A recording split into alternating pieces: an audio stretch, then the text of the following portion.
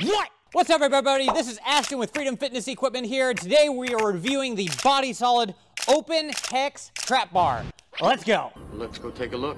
So today we are reviewing this sexy beast Oh my. of a hex trap bar and this thing is absolutely solid. I wanted to get this on a review because I was really impressed with the build quality and the budget price that this hex trap bar has compared to all of the other hex trap bars on the market. So this hex trap bar has 16.25 inch sleeves, which is about average and maybe slightly less than average of most other hex trap bars on the market right now. It's about the same sleeve length as a standard barbell. It's also got uh, two knurled handles with fairly aggressive knurling. I believe it's volcano knurling and the open trap design.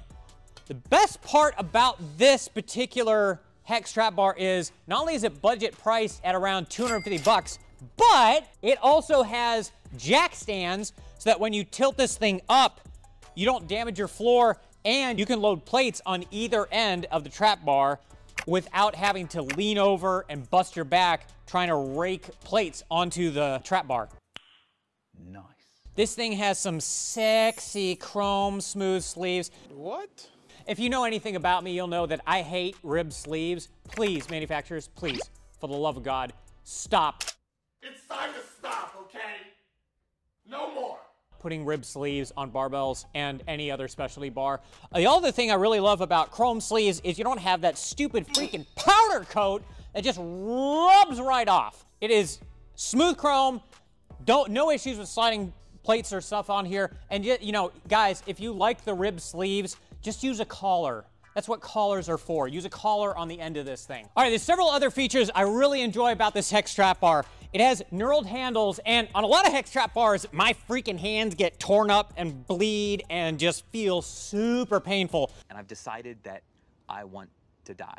On this one, it feels aggressive without absolutely digging into your hands. I think it's because there's a difference between volcano knurling and mountain knurling and blah, blah, blah, blah, blah. But I think this is volcano knurling, which is, while aggressive, a little bit easier and not doesn't bite into your hands like a freaking shark. Wow. Huge problem I have with hex trap bars is they feel super constricted. So you feel like you're in a freaking telephone booth when you should be in the land of the free, the home of the brave. And this body solid open hex trap bar makes me feel like I'm in the land of the free and the home of the brave. If you're a tall guy, I've had tall guys that lift inside these trap bars and they're like here in a trap bar. This, you can really widen your stance. You don't feel constricted. You don't feel like it's super tiny. The Titan Hex Trap Bar is notorious because I have it and it is a lot less wide and it also feels like you're in this tiny little box. But you know, with this, You've got plenty of room. It doesn't feel constricting at all.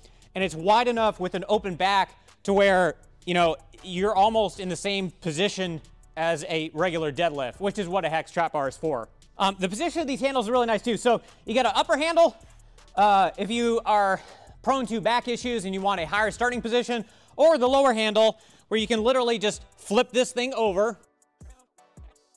Then you can lift from that position. So I really love this bar, this open hex trap bar. Uh, the best thing about it is, as I mentioned before, the freaking price point is 250 bucks.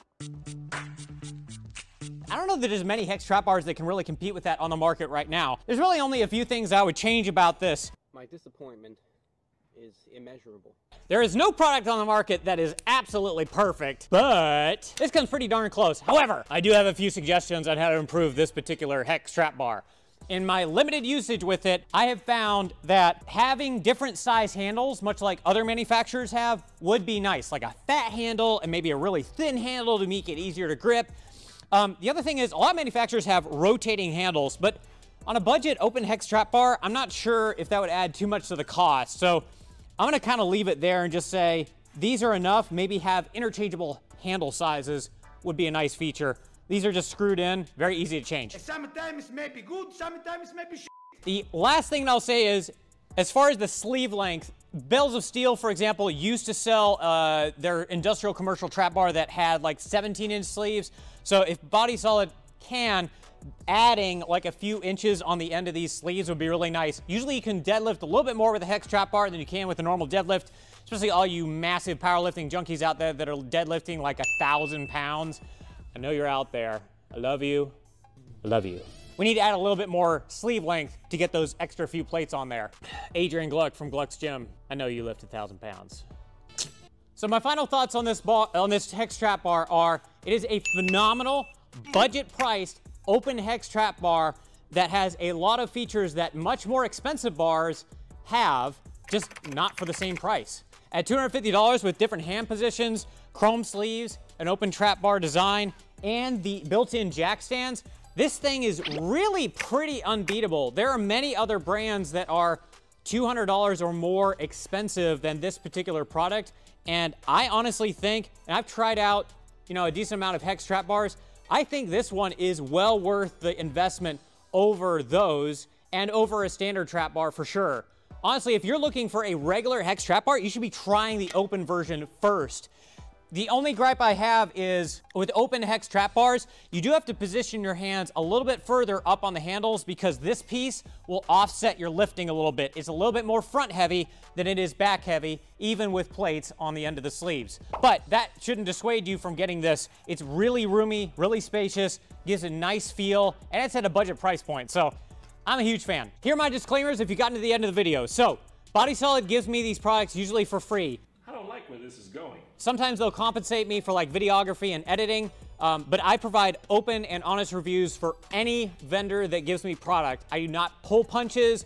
Um, I am. I try not to be biased. I really like this product. I really like Body Solid, so I do have a little bit of a bias towards Body Solid, but I try to be as open and honest and transparent as I can about things that need to be changed, things I don't like, uh, things I really love, and I, I, try to communicate those back to the viewers. I absolutely hate when fitness influencers aren't honest about their reviews. So I'm trying to be the opposite here and influence that generation of lifters and viewers who are looking at good gym equipment but want an honest take. So those are my disclaimers.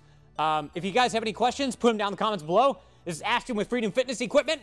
I'll see you next time.